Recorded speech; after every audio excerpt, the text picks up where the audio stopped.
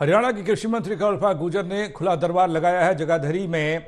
मुनकला rest house में ये दरबार लगाया गया है। लोगों की समस्याओं को सुना गया, उनका समाधान किया गया। सभी विभाग के अधिकारी भी इस दौरान मौजूद रहे। यमुनानगर से खबर आपको बता रहे जगाधरी के मुनकला रेस्ट हाउस में खुला दरबार कृषि मंत्री ने लगाया है। लोगों की समस्याओं को सुना है, उनके समाधान के निर्देश दिए हैं। मौके पर सभी विभागों के अधिकारी मौजूद रहे हैं। कृषि मंत्री कल्पाल गुजर ने लगाया खुला दरबार। बड़ी खबर इस वक्त यमुनानगर से आपको बता रहे हैं। राहुल सहजवानी जुड़ रहे हैं हमारे साथ, हमारे संवाददाता राहुल। खुला दरबार कृषि मंत्री लगाया है किस तरह की समस्याएँ लोगों की थी, जिनका निदान हुआ है?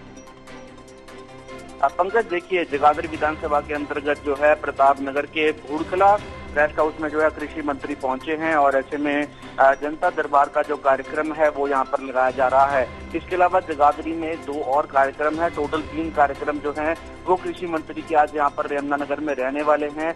जगाधरी विधानसभा के ही सारे कार्यक्रम है, क्योंकि वो खुद यहाँ से विधायक हैं तो तमाम जो समस्या है लोगों की, वो यहाँ पर लेकर जो है पहुँच रहे हैं। जिसके अंतर्गत जो है सभी अधिकारी जो है वो मौके पर यहाँ पर मौजूद है। सभी विभाग के जो अधिकारी हैं, वो यहाँ पर मौजूद है और खुले दरबार में लोगों की समस्याओं का जो है समाधान यहाँ पर किया जा रहा है। विभिन्न तरह की जो समस्याएँ हैं वो लोगों की है, जिसको लेकर जो है अधिकारियों को यहाँ पर दिशा निर्देश भी दिए गए हैं और तुरंत जो है लोगों की समस्याओं को समाधान करने के लिए यहाँ पर कहा गया है।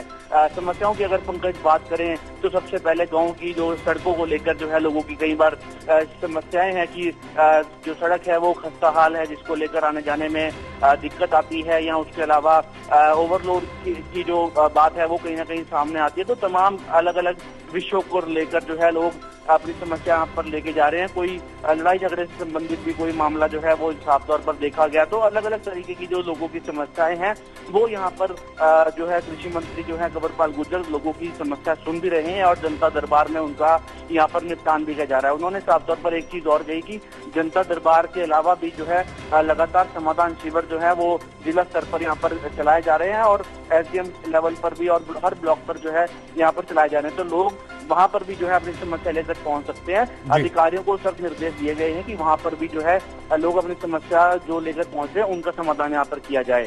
जी पंकज। बहुत शुक्रिया राहुल आपका तमाम जानकारी के लिए।